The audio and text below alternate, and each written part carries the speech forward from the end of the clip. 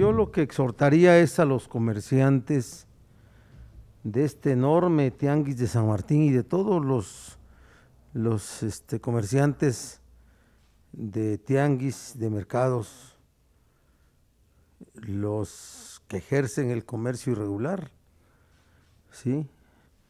que dejen de desafiar a la autoridad,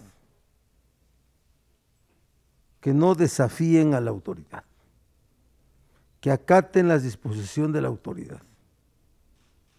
Nunca una persona o una organización va a ser más, va a tener más legitimidad que una autoridad que respeta el diálogo, que respeta los derechos.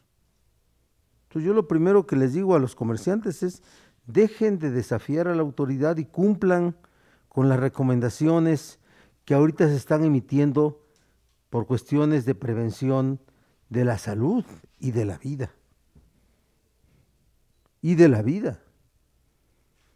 Yo siempre recomendaré a la autoridad diálogo con todas las partes para poder encontrar soluciones, soluciones consensuadas. Pero lo primero es a los comerciantes, ¿eh?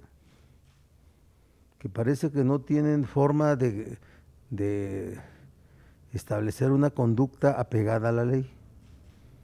Nosotros vamos a apoyar desde el gobierno al gobierno municipal de San Martín Tesmeluca. Gobierno de Puebla, hacer historia, hacer futuro.